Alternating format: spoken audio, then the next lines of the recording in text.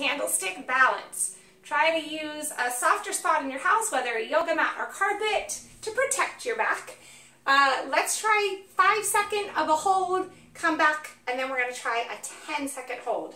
So remember, with candlestick, you're lying on your back, your hands are pushed to the floor, your toes come up, and this is when I'm gonna lift my hips. So I use my hands to help with that push and lift. One,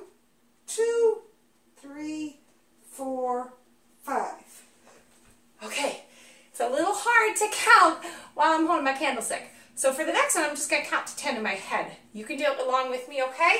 When I get to 10, I'll say it out loud and we'll all celebrate that we finished our candlestick hold.